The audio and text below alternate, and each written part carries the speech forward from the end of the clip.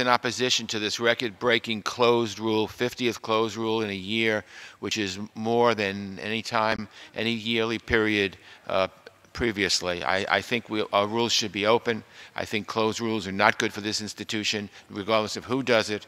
And I would urge the uh, majority party to think about open rules so the, the legislature can truly work its way. Um, the legislation itself, it includes a handful of measures that I authored. I'm happy about that, to require reporting on Russia's role in the Balkans, including Serbia's defense relationship with Russia, to enhance congressional oversight of changes made to policies and legal interpretations that govern security operations, a strategy to improve transparency and civilian protection in Nigeria, and a requirement for a Defense Department official to protect cultural heritage, the looting and trafficking of which is a funding source for terrorism. We've voted on that uh, here uh, on the floor, and it's passed.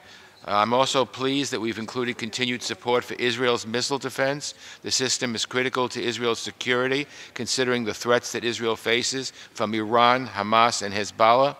Mr. Speaker, even though I'm ranking member of the House Foreign Affairs Committee, I'm glad to see these measures in this bill because they all belong in this bill. They're related to our national security, and indeed I strongly support the measures in this bill that provide authorities and resources necessary for our military to carry out its missions.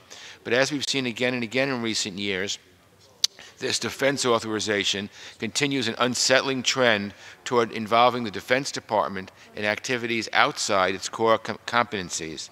In my view, we need to preserve and strengthen the important roles of the State Department and USAID. We wouldn't ask our diplomats or development experts to do the jobs of our men and women in uniform, so we shouldn't be asking our service members to do the work that has traditionally resided in our civilian foreign policy agencies. I want to caution against continuing down this road, and I hope that in the years ahead Gentleman, time we has can work to support our diplomatic and development efforts in the same way we support our national defense. After all, America's security depends The on all these May, efforts. may I yield, Mr. uh, Engel, an additional minute? Well, Additional minute. The gentleman is recognized for an additional minute. I thank, I thank the gentlewoman for uh, yielding to me.